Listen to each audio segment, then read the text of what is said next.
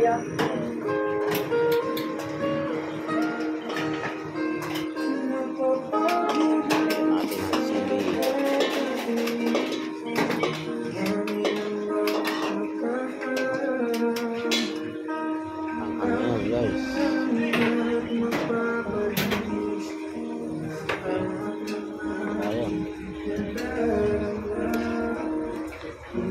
dito yan sa Lakay Paris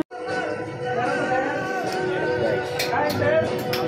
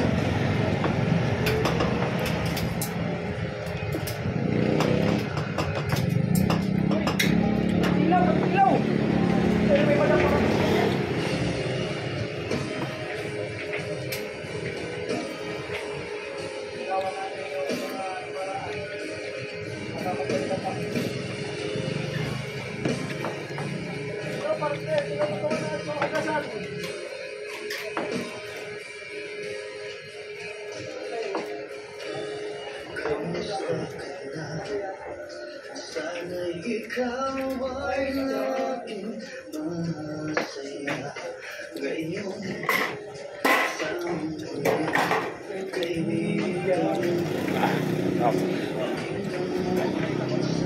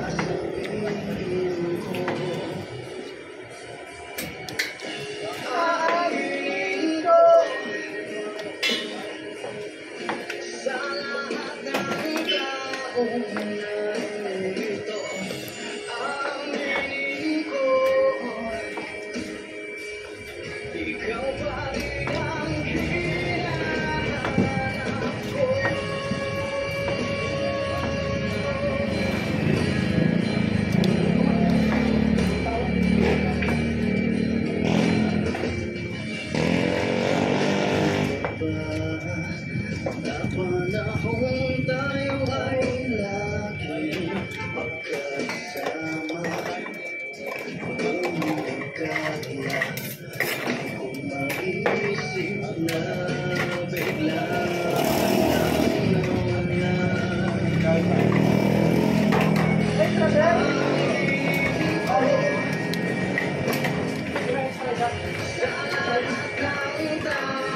you.